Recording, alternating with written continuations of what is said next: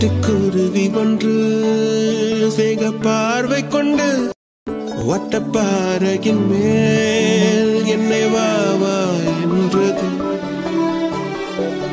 கிச்சு கிச் என்றது கிட்டவா என்றது. பேச்சு எதுவுமின்றி பிரியமா என்றது. ஒட்டச்சிறு குருவி நட